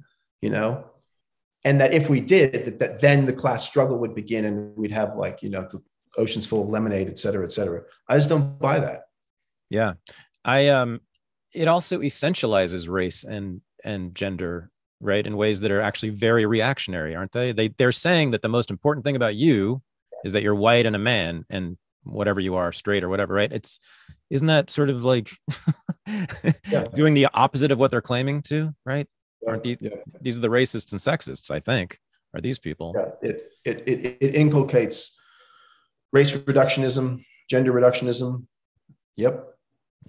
And it inculcates a kind of methodological individualism. Uh, you know that that uh, that society and social movements are just sort of the, the, the sum total of individuals, as opposed to realizing that you know when people come together in movements and institutions that you know what's going something greater happens it's not just the sum total of everybody's personal um, habits is in play there and that you know and then also people change you know like it's not that like institutions are often less shaped by the individuals than it is the other way around. You know the individuals get into some role and then the role inhabits them. You see this with politicians. It's part of how why it's difficult when you win have one person in office you know uh, it's difficult for them to change the institution that they're in because it's like the institution in the office inhabits them as much as they inhabit the office. The most the most important thing is what you christian parenti think about black people that's the most important thing it's what you have in your mind about black people or women or trans people. It's what you think. That's what's most important. To me, that has been the line of the left for about two or three decades now. Right. And the and the counter argument would be like, no, what, what's most important is what you do, you know, and that actually what you think might be a lot, a lot less important, also be m- much less stable than you think. And sure that really like uh, it frequently follows from what you do. And if you start doing things then you're going to have a different set of ideas. You know, mm-hmm. if if people uh, come together and work around a collective goal, like whatever bad attitudes they may or may not have had, frequently go away. But also, I mean, it has to be said, it's like you know, the United States has a lot of problems, and there's a lot of bigotry and all sorts of stuff. But it's like there has also been a lot of progress on these fronts. It's like the country is not as racist and as sexist and as homophobic as it used to be. I mean, everywhere I see evidence of this. Um, I mean, I married into a, a, big extended Southern family, and it's like, hmm. it is like, it is definitely not like it was in the 60s or 70s. People are definitely, I mean, I'm talking about like Christian conservative Republicans who are you know, light years beyond where their parents or grandparents might have been in terms of like, um, you know, people of different races and ethnicities marrying and, you know, different sexual orientation. I mean, people like, I think have, have moved a long way on this sort of stuff. This is really, this is really interesting. What, what do you think about your, uh, Christian Southern Republican in-laws? I love them. They're great people. I tend to love them too. Those people, you know, that people in that demographic. I've, you know, growing up in Berkeley on the left, I didn't, I didn't meet her. I didn't know a Republican until I was in my twenties. I mean, I, I never met one. I didn't know a Christian. I didn't know a practicing Christian until I was in college. And I'd never well, been in was... the South. And I, I assumed that everybody in the South was hillbillies and rednecks. But now I I find that they I I love the South and I love spending time there, and I find that people from the South of all colors tend to be much kinder and and nicer and friendlier than people in the North, and mo- much more importantly, maybe far less racist. You will see. Yeah, I mean, my my Yeah. wife is constantly talking about that. She just went down to Kentucky recently. Just came back and just, you know, it's like, yeah, it's you know, the, the South is much more integrated than Much you more. know, North. I mean, it's like Yes, moving to New York that really kind of freaked her out. How like Yes. race and class in New York really run concomitant, and it's just Yeah. like the level of segregation is like compared to in Kentucky is intense. yes, And Mhm. yeah, um, and partly, you know, I think some of that has to do with the fact has to do with like what C. Vann Woodward called, you know, the burden of Southern history, right, and the irony of Mm. Southern history. So, you know, Mm, the, mm, the. South is the only part of the country that shares an experience with most of the rest of the world, which is the experience of having been defeated in a war, occupied, told they were wrong, made to see that they were wrong, and defeated and reconstructed. And you know, and he says like the, the, the burden of Southern history is for the South to learn this lesson, but also to teach it to the rest of the country, to teach the rest of the, the country some humility. And I don't think that happened, but you can see that in the South. There's certain there's a certain kind of humility. If you're a white person in the South, it's like there's limits to posturing about how good you are because it's like it's, look, man, somebody you go far enough back, somebody owned slaves, somebody served in the Confederate Army, right? So you're not you're not squeaky clean. So just move on, okay? And everybody knows that, you know. And so it's Right. like, well, here we are now. Here here I am now. You know, we're just here. yeah, You know, you're white, I'm black. We're at the gas station together. Like what? you know? exactly. Yeah, no, like, not- are you okay? Where, where you're like, you know, are you from a suspect background? It's like, yes, yes. You know, in the South, in the past, you know, walk walk into almost any restaurant in the south in the deep south especially and you're almost guaranteed to see like mixed groups at tables you'll see blacks and whites sitting together commonly and you rarely see that in berkeley and you rarely see that in manhattan right it's just not a thing it's really remarkable difference there Yeah, I mean, a lot of families are are uh, much more integrated. I mean, like my in-laws, you know, through through marriage and through adoption, um, you know, it's much much more integrated than than um, you know the the kind of the scene in in Yankee New England where I was raised. But I was raised among Republicans, unlike you, because I was raised by my mother most, and we lived in rural Vermont and rural Maine, and so it was like a lot of people I grew up with were, you know, quote unquote rednecks and Right. um, Republicans. Yep. Much less racist people i think in general um, back to uh, privilege walk wokeness and identity politics so i was fascinated to find out from your article that herbert marcuse was connected to all this his his wife or former ex-wife um, uh, was was the founder the inventor of the privilege walk in that now you do write about this but i kind of want to just set you up with this what is the connection if any between herbert marcuse's ideas Mhm. and these politics that we're seeing now in the privilege walk and in identity politics generally what is the well, I wouldn't want to pin too much of this on Marcuse, but No. um, but the thing that he contributes is he you know he has a cynicism about the Western working classes, and he develops this at the peak of the sort of social democratic compromise, right? And so he's looking at the the working class in the OECD countries, and he's saying, look, they're just like they're they, they still are a class in, in in themselves but they can't become a class for themselves because they're you know just ideologically too compromised by patriotism and all the goodies and all this sort of stuff i mean it's like and he mm-hmm. passes away in 79 right it's like right when the kind of neoliberal turn begins and deindustrialization and union busting really Mm. picks up and so that sort of aristocracy of labor that kind of that that who had it made during the kind of golden era, the post-war golden era. I mean, they they get smashed to pieces.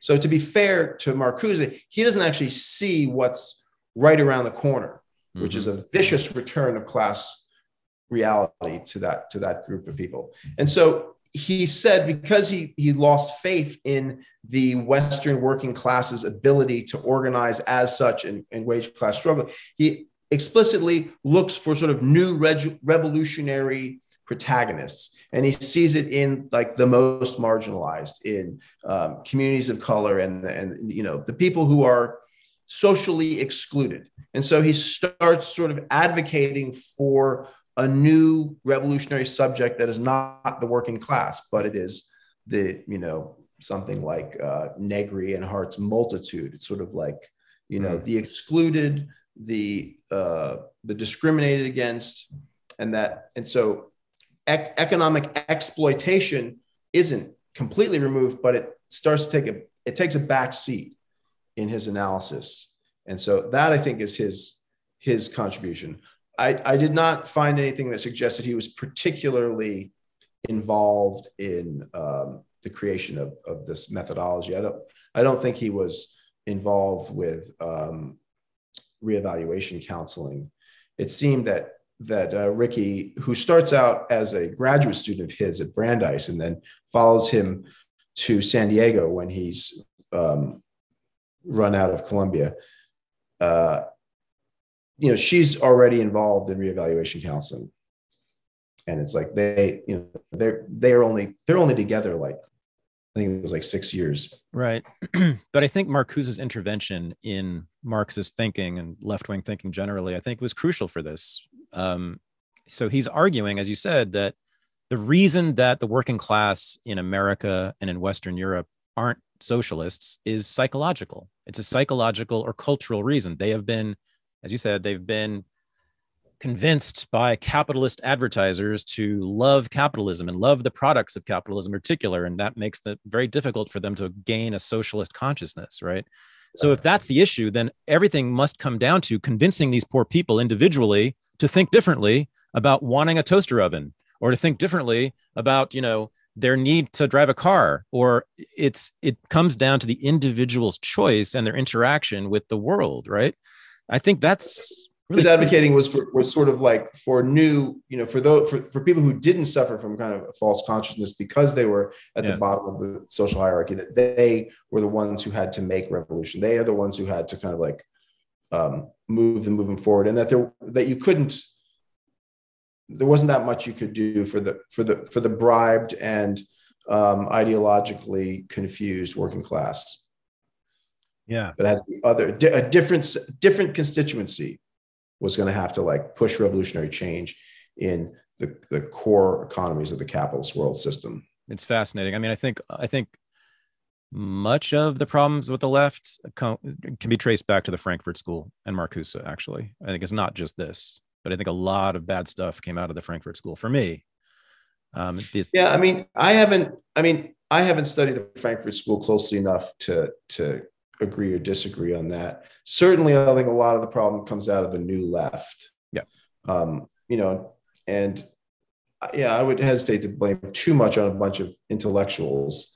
I think that the the foundations and um, the kind of you know the infrastructure that they fund is really really the key thing mm. that, mm-hmm. that that kind of malshapes the new left because there's a lot of you know there's a lot of tendencies in the new left and sort of what you know why do we why do we end up with with this residue of it this yeah. kind of you know call out culture identity politics endlessly like the, the kind of like the, the sort of like endless hybridization of you know more and more exotic and excluded identities it's just like you know that wasn't the only thing going on in the new left but that's like that's the kind of that sort of like you know what used to be called nationalism right? This kind of like this kind of like nationalist element in that politics really seems to be the one that has the most momentum. And it has to do also as i said earlier with i think the history of red baiting and silencing voices of people who are who are sort of like class first. Mm. it's a and, rich kids it's a rich kids politics i think. Yeah. Yep. It's a it's a rich kids politics it's it's a politics that's used it's it's fake leftism basically i mean i think mm-hmm. that there's um, part of what happens in my reading of things part of what happens after world war ii this is laid out well in frances Stonor saunders book the cia and the world of the cultural cold war the cia and the oh, world yeah. of arts and letters mm-hmm. and they they realize that like we can't convince in occupied Europe, we can't convince these you know European left wing intellectuals to like America and become American patriots. Mm-hmm. But you know we can we can kind of nudge this left away from the Soviet Union, and we can sort of uh, indirectly influence them. And so like there were they were competing with the Soviets who were setting up these you know palaces of workers culture in occupied zones and having like you know symphony orchestras play for workers and this sort of stuff and then you know the U.S. State Department would uh, try and have events where they're propagandizing. People be like, "But you don't let black people drink out of the same water fountains as white people. What, what about that?" And it's like, uh, and, and they find themselves explaining like, "Well, you don't understand American federalism. It's like that's not the federal government. That's these like yahoos in Alabama." And it's like, what? That doesn't make any sense. And they realize, what are we going to do? Oh, we'll just got to have to send jazz bands. You know, just like don't don't engage them in the argument. Exactly. Just like send jazz bands, send you know abstract expressionism. That's right. And this is kind of acceptance. Like you're not going to crush and beat the left, but you can shape the left. You know, you're always going to have this opposition. So try and shape it into the kind of opposition you can live with. I mean, this is all laid out in Federalist 10, right? Where mm-hmm. Madison says you're never going to get rid of the source of faction, right? And most dangerous source of faction is is the difference in property, those who have and don't have. Mm-hmm. And so what you got to do is you got to lean into faction, like let let let faction proliferate. What you don't want is like the majority of people who don't have enough property to unite against those who have too much property. Right. You know, so it's like, I mean, you cannot eliminate faction, so you got to lean into it. Let let faction proliferate. It can actually be invigorating, he says, right? So it's that logic, and I think that like the new left is very much informed by powers embrace of that logic, which is like, you know, you, you you're never going to get rid of the left, or you're never going to get rid of opposition, but you can shape the kind of opposition that this society has to live with. If this is an endemic problem, like deal with it as such. Yeah, it's interesting. It's interesting. I think the class position of the left really explains a lot of its politics these days. Um, class position of the membership, yes, absolutely. Yeah, the middle class, professional class nature of it. Yep. Yep. So, so to be fair, you know, there are. I mean, we are we're leaving out. You know, unions. There are. It's not like the entire left is middle class. There are well, you know, working class members of unions who are politicized, but there's just yeah not enough of them. But the lead, but the leaders of those unions tend to be people who went to college. Yes. right. Yes, like good, or like yeah, they tend to be they tend, they tend to be people who went to college. Yeah. Yale, um, Yale in particular, a lot of union. I think it's something like or Several union leaders went to Yale. I know that. yeah. More conservative unions that you find more working class leadership frequently. Correct. I have a good friend who's who's pretty high up in the laborers union. Oh yeah. And she was raised on a commune in Vermont. She's still very ardent lefty, but uh, I remember once she said, "I hate progressive unions." I was like, "What? What do you mean? Why?" It's just like you just can't stand these like people with master's degrees, you know and she like much much prefer to hang out with these um, you know rough and tumble sometimes sort of corrupt but they're all corrupt i mean it's like yeah i was just talking i was just talking to a friend of mine who who who had worked for SEIU who's one of the people who actually helped got me to, to to think about covid differently he was working for a local SEIU local in detroit and in march or april i think it was probably early april of 2020 i was talking with him and, and I was like, how are things going? He said, well, in Detroit, we can't get enough personal protective equipment for our members. But in Western Michigan and Northern Michigan, we literally have hospitals that are totally empty. They're totally empty mm-hmm. and they're going, they're going to lay people off. So it's like his job was like, like, you know, the COVID crisis in Detroit and then like the financial crisis of hospitals in Northern and Western Michigan. I was like, what? I'd never heard. I was like, what could this mm-hmm. be? Mm-hmm. And then, you know, end of April comes out a million point four healthcare workers lost their jobs in the month of April 2020 because the the states of emergency, as I explained in that piece, the states of emergency in all these states, pretty much every single state told hospitals you have to suspend elective procedures. You got to clear the decks for COVID. So that meant all of their income dried up. And then at the same time, the CARES Act says, okay, we're going to, you know, offer 120% of Medicare coverage for any case that can be classified as a COVID case. And so, as I argue in the piece, that I think there, there was an unintentional um, set of circumstances that led to overcounting, overqualifying mm. deaths as COVID, because mm. hospitals were literally like facing financial crisis because of these government mandates. And then on the other hand, another part of government is like anything you can call COVID, we'll pay you 20% extra. Wow. You know, it's like, yeah. what are you going to do? You like you're, you're some hospital manager, you, you're going to lay off people you've worked with for years. Maybe some Boy Scout be like, well, I don't really know if these really are all COVID cases. It's like, hey man, if they tested positive for COVID, call it a COVID case. Mm-hmm. Why not? Yep. And say that they died of COVID. Yeah. Right. Even though they died of a car car accident, right? But they had COVID in their system, right? Yeah, unbelievably corrupt and corruption that you know determines whether people live or die. I mean, I think it's one of the worst crimes I have seen in politics, maybe in my lifetime. It's. I mean, yeah. I mean, I, I agree. It's really, really bad. I mean, and and I mean, some of the stories that you know haven't been written up. We know a woman who's a nurse in Southern Vermont who had a child in New Hampshire um, in a, I forget what hospital, um, which is just as well because she tests positive. They took her baby from her for ten days. My God. And it's like then her, when her pediatrician found out, he was like, "What?" It's like the God. kid was exposed to COVID in utero and, and at birth. Like this is totally nuts. And then at the same time, like her husband could visit both her and the baby, or like I forget what maybe the, or the husband was like tested positive, but he could. It was just like you know that kind of stuff. New York City for at least a couple weeks was not allowing women to have anyone with them when they gave birth. But I think that the um, that went out the window fairly quickly because the the staff in these hospitals were just like, that's that's crazy. That's like that's impossible. Good lord. Good lord. I have it. I know someone here who had that experience in Oakland. I think she, I think she was in Oakland, and they would not let anyone be with her when she was giving birth. Yeah. Incredible. Yeah. So her her child was in isolation for the first several weeks of his life. Yeah. Disgusting, outrageous. The thing I don't understand, I mean, what what I explained in that article is like all the big pieces. I understand why the you know the Trump derangement syndrome politicization of this, like you know how the overcount, you know the state lockdowns and CARES Act. But what I don't, and I understand the messaging, like the people just like you know accept the headlines that a lot of people don't really read or don't read that critically and they just sort of ex- essentially even if they have a critique of the new york times they basically just accept the new york times editorial line right but what i right. don't get is the the alacrity the passion that that people usually unfortunately lefties and liberals exhibited in in its embrace of this kind of repression this lockdown i mean like why weren't more people saying, wait a minute, that is totally barbaric to separate a, a newborn child from their, their parents. I mean, like where and where exactly, you know, you're going to need some really good scientific evidence to justify this.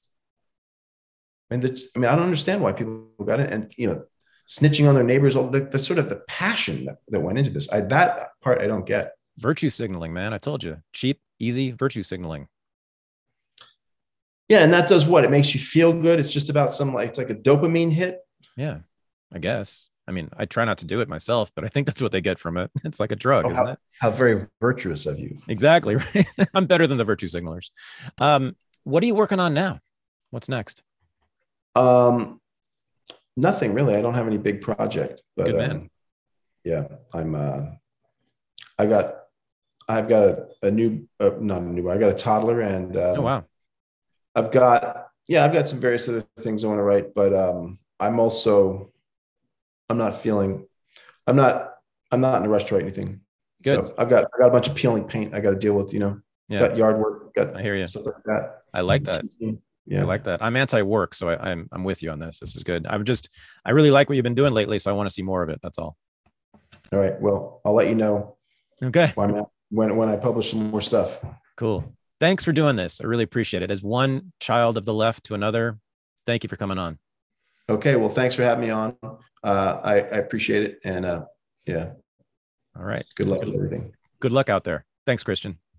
All right. Bye bye. Thanks a lot, man. Take care. Okay. This is the Unregistered Podcast, and I'm Thaddeus Russell. To become a patron of the show and have access to bonus episodes, AMAs, and the Unreported News Analysis Show, go to patreon.com slash unregistered. Thanks for listening.